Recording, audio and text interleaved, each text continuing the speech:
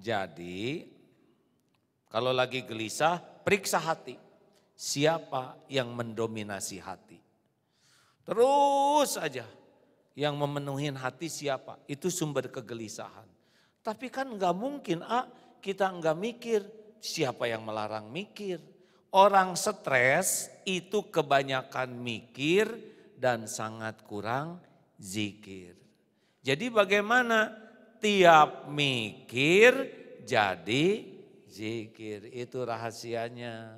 Mikir suami langsung ingat Allah. Ini suami ciptaan Allah. Ini suami milik Allah.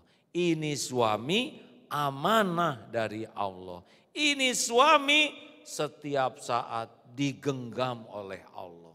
Hanya Allah yang bisa ngebulak balik hati suami. Jadi kalau ingat suami terus cemburu, stres.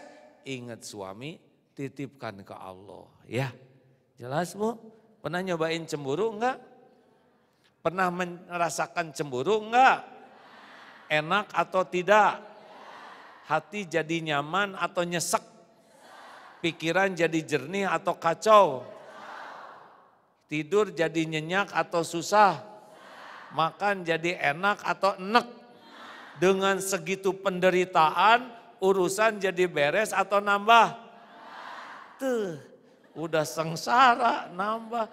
Itu suami yang dicemburuin jadi jinak atau makin lincah? jadi ngapain aja? Tahu kenapa? Karena kebanyakan mikir, Bu. Kurang zikir. Harusnya kalau udah cek ada masalah dengan keluarga, langsung ingat ke Allah. Karena Allah yang bisa membulak balik hati suami.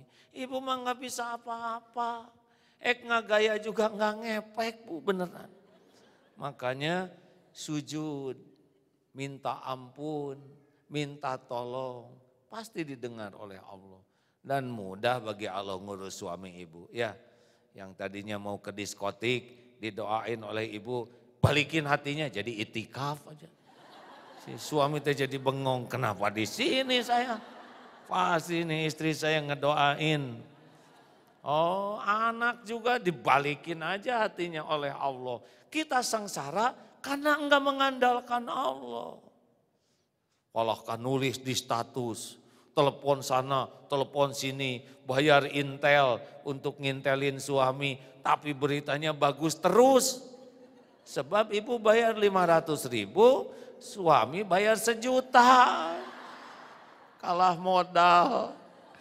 Tapi kalau ke Allah bu, hmm, siapa yang bisa ngelawan kehendak Allah? Gak ada. Dan Allah maha baik, maha penolong, tidak perlu dibayar karena semua ibadah kita kembali ke kita sendiri. Ya, yang ketiga, kenapa hidup ini susah berat? Karena jauh dari pertolongan Allah. Jelas? Karena kalau Allah mau menolong, nih dengar surat Yunus 107. A'udzubillahi minasyaitonirrajim wa iyam saskallahu bidurrin fala kashifalahu illahu dan sekiranya Allah menimpakan bencana, ujian, musibah kepadamu, tidak ada yang bisa menghilangkannya selain dia Allah sendiri. Jadi mau ngejerit sampai kejang enggak ngepek ya. Mau lari ke penjuru muni mana pun enggak ngepek. Cuma satu yang bisa nolong tuh siapa? Allah. Makanya hidup mah sederhana, ngejar-ngejar pertolongan Allah. Selain Allah itu enggak ada apa-apanya.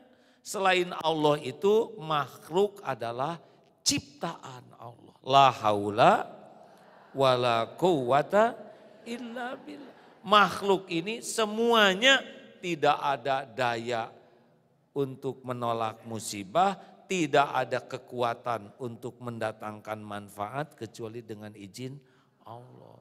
Makanya ibu Kenapa ibu menderita cita-citanya duniawi, berharap dan takutnya ke makhluk dan tidak serius mengharapkan pertolongan Allah. Jadi kita mau malah curhat sana, curhat sini. Dengerin ya Bu, kalau ibu curhat ke teman, teman itu bisa jadi bagian dari bencana. Karena dia bisa ngomong ke yang lain, sejengkal jadi sedepa, sedepa jadi sehasta. Urusan kita udah beres, dia masih terus belum beres. Dan orang yang suka curhat, itu orang itu akan masuk dalam kehidupan kita terus nyusahin. Ke Allah curhat mah, ya. Allah curhat mah. Karena hanya Allah, innallaha ala kulli syai'in qadir. Sesungguhnya Allah maha kuasa atas segala-galanya.